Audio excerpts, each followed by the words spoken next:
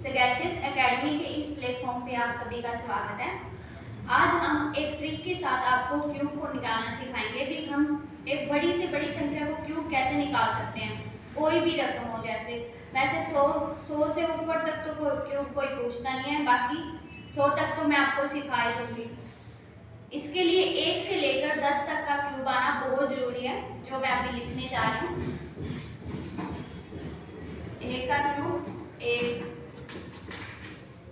दो का क्यूब आठ। तीन का क्यूब सताइस। चार का क्यूब चौसठ। पाँच का क्यूब एक सौ पच्चीस।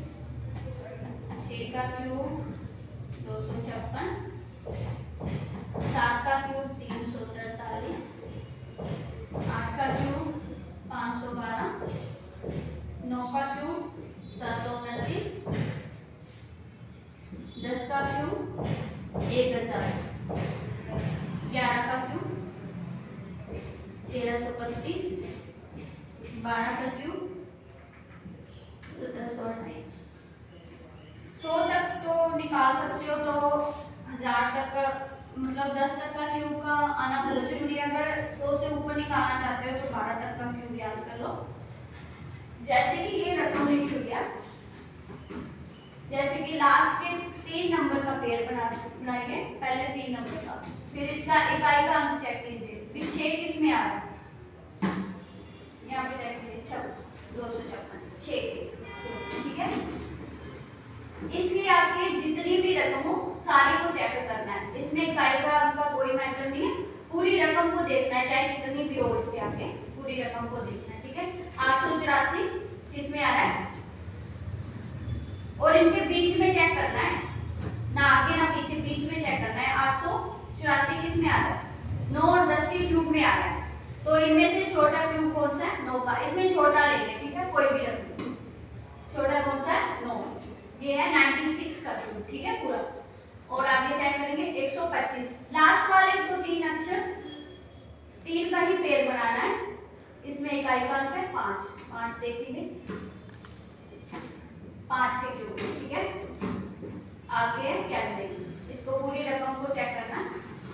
चौसठ और एक सौ पच्चीस के बीच में आ रहा है। तो छोटा लेंगे चार।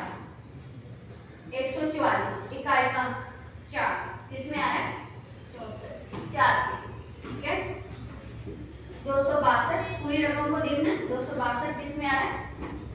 दो सौ छप्पन और तीन सौ छः और सात के क्यूब में। इसमें छोटा लेंगे छः ठीक है? एक सौ पचानवे और एक सौ इसका तीन का ठीक है? इसमें इकाई का दो। आठ के क्यूब, ठीक है?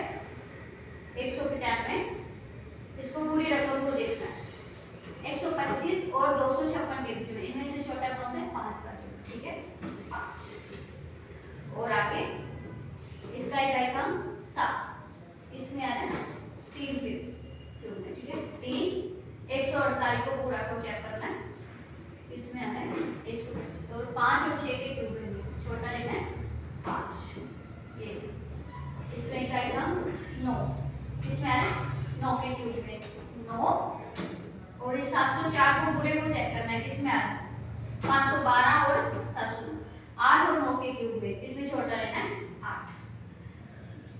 इसमें इकाई का तीन का पेड़ में इकाई का आठ किसमें इसमें। दो ठीक है?